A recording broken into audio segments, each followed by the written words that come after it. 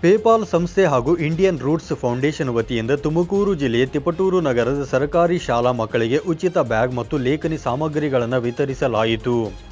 ಕಾರ್ಯಕ್ರಮದಲ್ಲಿ ಸಂಸ್ಥೆಯ ನಿರ್ದೇಶಕರಾದ ಧೀರಜ್ ಭಟ್ನಾಗರ್, ಆನಂದ್ ಸಿಎಸ್ಆರ್ ಬೆಂಗಳೂರು ಹಾಗೂ ಕುಮಾರ್ ಆಸ್ಪತ್ರೆಯ ವೈದ್ಯ ಡಾಕ್ಟರ್ ಶ್ರೀಧರ್ ಅವರು ವೇದಿಕೆಯನ್ನು ಅಲಂಕರಿಸಿದ್ದರು. ಕಾರ್ಯಕ್ರಮವನ್ನು ಉದ್ದೇಶಿಸಿ ಮಾತನಾಡಿದ ಡಾಕ್ಟರ್ ಶ್ರೀಧರ್ ಅವರು, ಖಾಸಗಿ ಶಾಲೆಗಳಿಗಿಂತ ಸರ್ಕಾರಿ ಶಾಲೆಗಳಲ್ಲಿ ಶಿಕ್ಷಕರು ಮಕ್ಕಳ ಬಗ್ಗೆ ತುಂಬ ಕಾಳಜಿ ವಹಿಸುತ್ತಾರೆ. ಕನ್ನಡ ನಮ್ಮ ಮಾತೃಭಾಷೆ, ಅದನ್ನು ನಾವು ಗೌರವಿಸಬೇಕು, ಪ್ರೀತಿಸಬೇಕು. ಜೊತೆಗೆ ಜೀವನ ನಡೆಸಲು ಈಗ ಇಂಗ್ಲಿಷ್ ಕಲಿಕೆ ವಿದ್ಯಾರ್ಥಿಗಳಲ್ಲಿ ಅವಶ್ಯಕವಾಗಿದೆ ಎಂದರು. ಖಾಸಗಿ ಶಾಲಾ ಮಕ್ಕಳು ಮಾತ್ರ ಇಂಗ್ಲಿಷ್ ಕಲಿಯಬೇಕು. ಸರ್ಕಾರಿ ಶಾಲಾ ಮಕ್ಕಳು ಏಕೆ ಇಂಗ್ಲಿಷ್ ಕಲಿಯಬಾರದು ಎಂದು ಪ್ರಶ್ನಿಸಿದ ಅವರು, ಇನ್ನು ಹೆಚ್ಚಿನ ಸಂಖ್ಯೆಯಲ್ಲಿ ಸರ್ಕಾರ ಇಂಗ್ಲಿಷ್ ಶಾಲೆಗಳನ್ನು ತೆರೆಯಬೇಕೆಂದು ಒತ್ತಾಯಿಸಿದರು.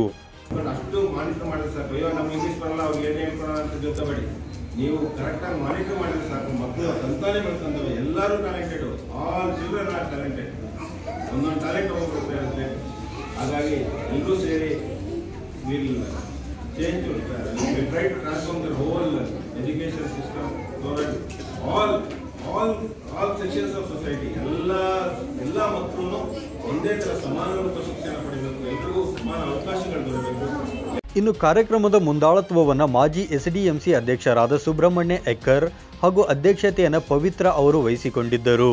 ಶಾಲಾ ಮಕ್ಕಳಿಗೆ ಸಾಮಗ್ರಿಗಳನ್ನು ವಿತರಿಸುವ ಕಾರ್ಯಕ್ರಮದಲ್ಲಿ ನಗರಸಭಾ ಸದಸ್ಯ ಯಮುನಾ ಧರಣೇಶ್, ಬಿಆರ್ಸಿ ಉಮೇಶ್ ಗೌಡ, ಸಿಆರ್ಪಿ ಆಶಾ, ಶಾಲಾ ಮುಖ್ಯೋಪಾಧ್ಯಾಯರಾದ ಅಶೋಕ ಎಚ್ಕೆ ಮತ್ತು ಶಾಲಾ ಸಿಬ್ಬಂದಿ ಪಾಲ್ಗೊಂಡಿದ್ದರು. Babu Khan nine live news Tumakuru.